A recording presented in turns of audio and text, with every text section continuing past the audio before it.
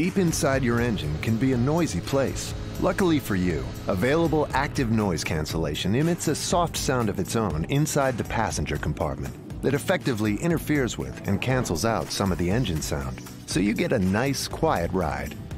About noise at Ford. So we've added a seal here on the B pillar and introduced something called active noise control. It works like noise cancelling headphones, but for the whole cabin. Microphone is here and here, sample the noise inside, and then instantly create a match sound wave, but inverted, so they cancel each other out. All of this makes it even quieter than before.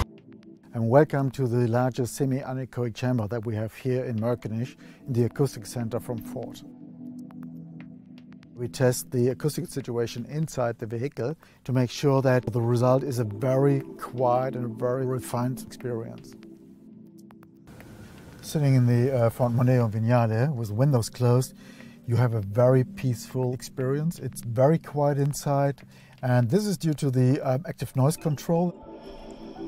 Active noise control uses three microphones, two in the front, one in the rear. So four-cylinder vehicles often create uh, boom noises where it gets suddenly louder and then it goes down again level-wise. Microphones detect exactly those noises. The uh, onboard loudspeakers from the entertainment system starts then to produce counterwaves that act against those unwanted noises. Uh, so the result is a very quiet and very peaceful cabin situation. It's really a refined experience.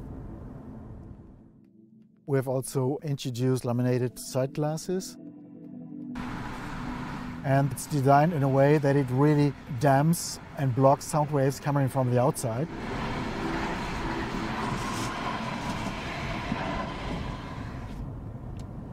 And that really uh, brings the interior cabin situation to a new level of quietness.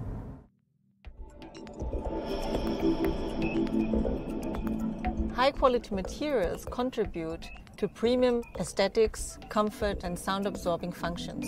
It can be quiet and calm or boosting and dynamic, encompassing sound harmony. So, the Ford Vignale interior is an environment where personally preferred sound qualities can be experienced.